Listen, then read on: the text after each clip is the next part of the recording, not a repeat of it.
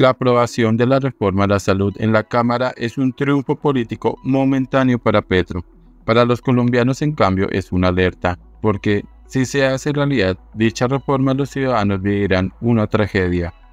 No es fatalismo, es que lo que está en juego es la vida. En Senado, el gobierno pondrá en marcha la misma estrategia de menudeo. Negociará uno a uno a los congresistas y así buscará los votos. Probablemente los conseguirá. El debate allí será más intenso. Hay más gente consciente de su responsabilidad en esa instancia. Aún así, es posible que no alcance para crear un muro de contención que ponga freno a las intenciones del presidente y su gente.